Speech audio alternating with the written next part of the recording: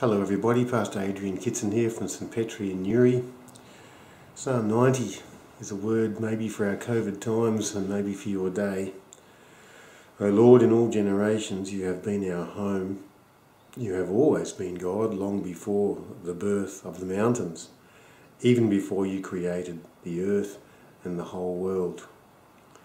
At your command we die and turn back to dust, but a thousand years mean nothing to you. They are merely a day gone by, or a few hours in the night. You bring our lives to an end, just like a dream. We are merely tender grass that sprouts and grows in the morning, but dries up by the evening. Your furious anger frightens and destroys us, and you know all of our sins, even those we do in secret. Your anger is a burden each day we live, then life ends like a sigh. We can expect 70 years, or maybe 80, if we're healthy, but even our best years bring trouble and sorrow. Suddenly, our time is up and we disappear. No one knows the full power of your furious anger, but it is as great as the fear that we owe to you, God. So teach us to live wisely all the time we have. Teach us to number our days. Help us, Lord. Don't wait. Have mercy on your people.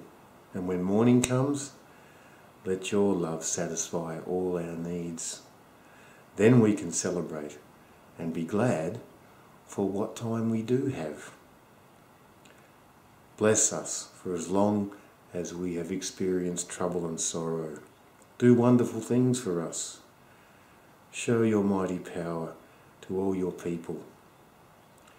Friends, it seems to me in COVID time, God is helping us to teach our, to count our days aright, as the old translation says, with humility, so that we are wise. We know what to do and when to do it. And we live with our limits we're living within our limits. May you live joyfully in your limits today, knowing that God is your home, whether we live or whether we die. Our Lord and our God, treat us with kindness today and let all go well.